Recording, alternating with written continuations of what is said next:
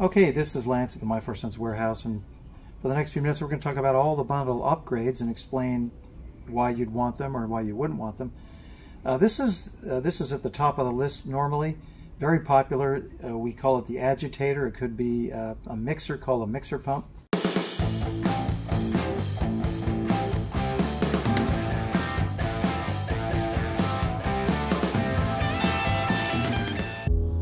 And this is how the agitator mounts inside the tank. It's got a mount plate, and we'll just show you how that mounts. It uh, comes in like that, rotates. When you install it though, you, you can't do it that way. You come in from the top of the tank, push this over the ears, and you're in business. You can also change the orientation based on the holes and, and things and the cable tie uh, that's, that's, uh, that's used. Anyway, the reason you'd want a, an agitator is in case you have uh, chemicals or particulates that or suspensions that fall out of uh, out of solution, and you want to you want to maintain homogeneity. So it's very popular with uh, food, uh, plant foods, and uh, anything with uh, larger particles in suspension. For all agitator upgrades, uh, you'll end up with this silver control knob in this location in all cases, right, right below the, the strap hook. And the, the reason why that's nice is because you can reach back and adjust the flow rate if you're finding that your the particles are not being suspended correctly. Uh, the, the idea on this variable power is to adjust it to the lowest setting uh, so that you maintain so that you maintain the, the best efficiency from your battery.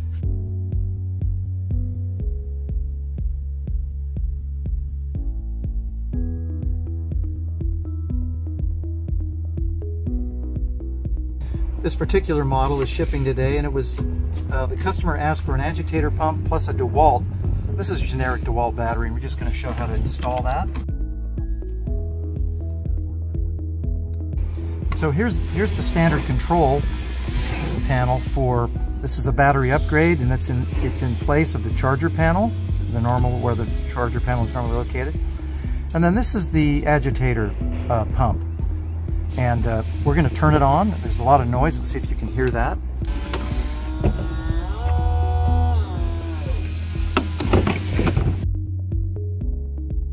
Okay, we wanted to show how the agitation pump works and it's independent. It, it's not going to draw flow off of the main system.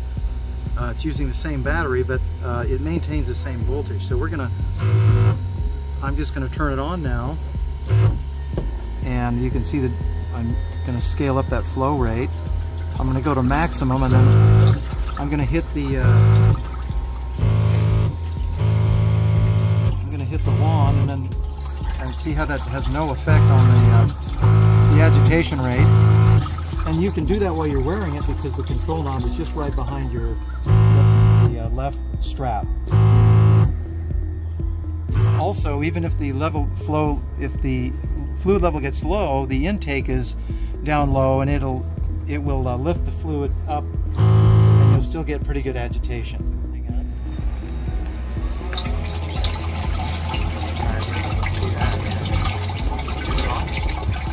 There's the maximum uh, maximum flow. We're going to dial it up and down. Six gallons an hour. That's quite a bit.